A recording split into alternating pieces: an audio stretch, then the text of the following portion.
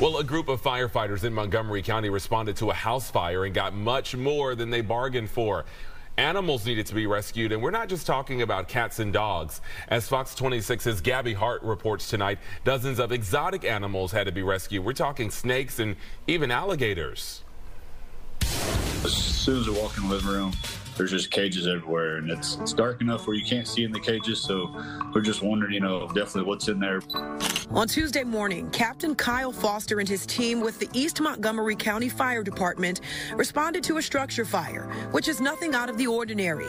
But it's what was inside of the home that caught these first responders by surprise. Albino, Burmese pythons, milk snakes, chicken snakes, alligators. Uh, I don't know all the different types of lizards. I just know that the iguanas, the the bigger ones, the bearded dragons, you name it, she had it. It was a slithery rescue. There were even some creepy eight-legged critters inside some of those tanks. Yeah, the tarantulas, you know, they don't, not real I mean, I don't, I don't want them on my face, but, you know, I'll, I'll, carry the container out. Kyle and his crew quickly narrowed the start of the fire down to a tank that was holding a lizard. He says a heating lamp was likely to blame.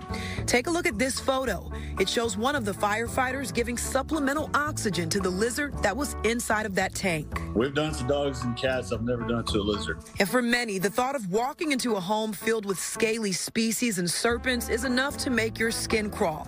But Kyle, well, he was the right firefighter for this job. I'm a country boy, so snakes don't bother me. Though he admits that not everyone on his crew was on board with holding the animals or posing for pictures like he did. Had it been smokier in there, I can guarantee you, you know, my fireman, he probably would have left me in there because he's deathly afraid of snakes. So there's a few that kept their distance for sure.